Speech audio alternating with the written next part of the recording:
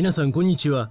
今回は5歳の女の子についてのとても興味深い物語をご紹介します。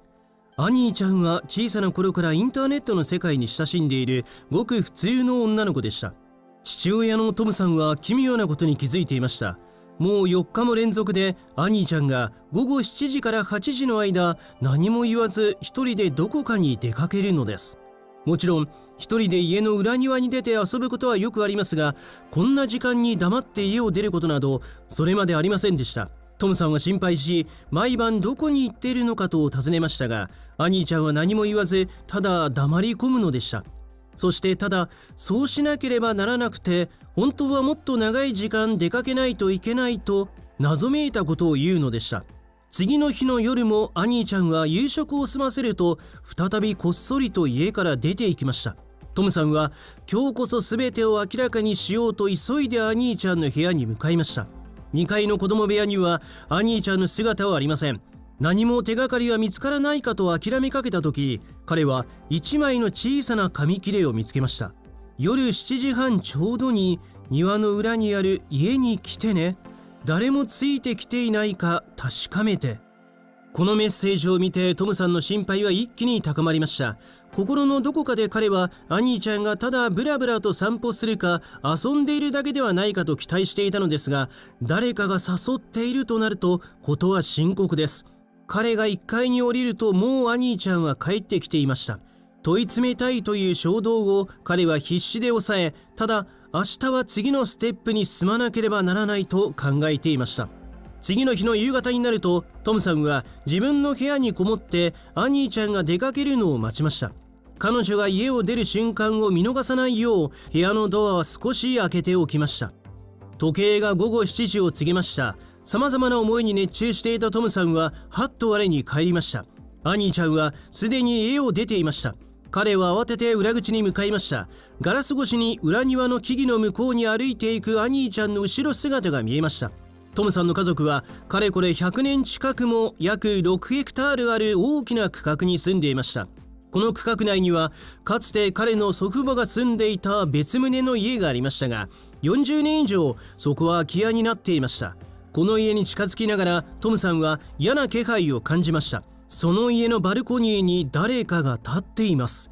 彼は木の陰に隠れてアニーちゃんの姿が見えるのを待つことにしました。すぐにアニーちゃんが別の茂みの陰から出てきて小さな手でドアをノックしたのです。謎の人物はバルコニーから中に入り家のドアが開きました。アニーちゃんが入るのを見届けてトムさんも陰から飛び出し裏口からその家に入りました。彼はこの家の鍵を持ってきていたのです。足音を立てないように忍び足で歩きアニーちゃんの声が聞こえてくる部屋に向かいました。そこからは老婆らしき声も聞こえました。トムさんはドアの反対側に立ち部屋の中を覗き込もうとしました。2人は何かをしているようでした。突然アニーちゃんがドアを開けて部屋から出てそのまま外に出て家の方に帰っていきました。アニーちゃんが見えなくなると彼は意を決して部屋の中に入りました。彼を見てローバーは驚いて慌てて隠れようとしましたがトムさんは彼女の手を掴んで引き止め問い詰めました。老婆は混乱した様子で突然涙を流し椅子に倒れ込むように座り込み深く息を吸ってから話し始めました。老婆はすでにかなりの高齢で友人にも親戚にも皆に先立たれ天涯孤独の身になっていました。そしてアニーちゃんの幼稚園の近くにある老人ホームで暮らしていたのです。涙を抑えながら彼女はトムさんに話しました。とても孤独で寂しかったのです。80歳を迎えもう我慢できなくなりこっそりと老人ホームから逃げ出すことにしました。連れ戻されないよう誰にも何も言わず出てきました。とはいえ行くあてのない老婆は路上で野良犬と一緒に寝起きすることになりました。食べるものもろくになくアニーちゃんに出会うまでは犬以外会話する相手もいませんでした。そのような時老婆はアニーちゃんと出会います。幼稚園の休憩時間アニーちゃんは犬を連れた老婆を見て話しかけたのです。アニーちゃんは自分たちの庭には誰も使っていない家がありそこなら誰にも見つかることなく安全に暮らすことができると言ったのです。老婆は話しました。私はもう1ヶ月近くここに住ませてもらいました。でも食べ物がどうしても足りませんでした。犬たちにも食べさせるものがありませんでした。本当に心優しい兄ちゃんはそれにも気づいてまた私たちを助けてくれたのです。老婆の話を聞いてトムさんは涙を抑えることができなくなりました。彼はすぐに家に戻ってアニーちゃんと話をすることにしました。アニーちゃんは何もなかったかのような顔で庭の椅子に座っていました。トムさんは彼女に駆け寄りぎゅっと強く抱きしめました。そしてまっすぐに目を見つめながら彼は彼女の後をつけて古い家に行ってそこに住んでいる老婆と犬たちについてもう知っていると話しました。トムさんの心を乱していた不安は安堵と喜びに変わっていました。アニーちゃんと話し終わると彼は妻に全てを話しました。そして彼らは大きな決意をします。